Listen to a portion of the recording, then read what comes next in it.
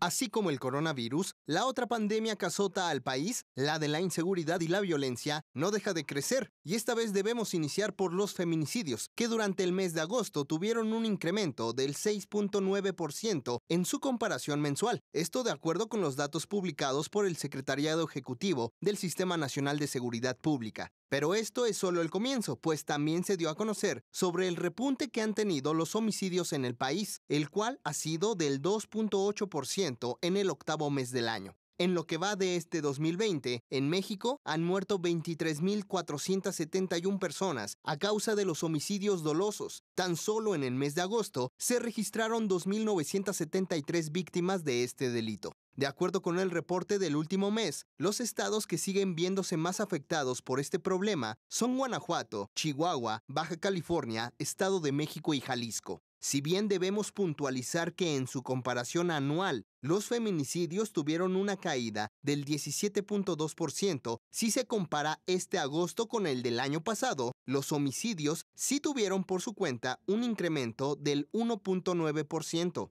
Pero en términos más generales, el problema continúa, pues la incidencia delictiva nacional reporta que en total, durante el periodo referido, durante agosto pasado, se cometieron 158.253 delitos. En este apartado encontramos al Estado de México encabezando la lista con más de 30.000 delitos cometidos en el último mes, seguido por la Ciudad de México, Jalisco, Guanajuato y Baja California. Asimismo, otros de los crímenes que tuvieron un aumento a tasa mensual fueron la trata de personas, con un alza del 55.6%, el secuestro con 17.5%, el robo a transeúntes con 4.7%, el robo a casa habitación con 2.7% y la violencia intrafamiliar con un incremento del 1.2%. Los estados con menor incidencia delictiva fueron Chiapas, Yucatán, Tlaxcala, Nayarit y Campeche. En este último, tan solo se cometieron 157 delitos en agosto pasado.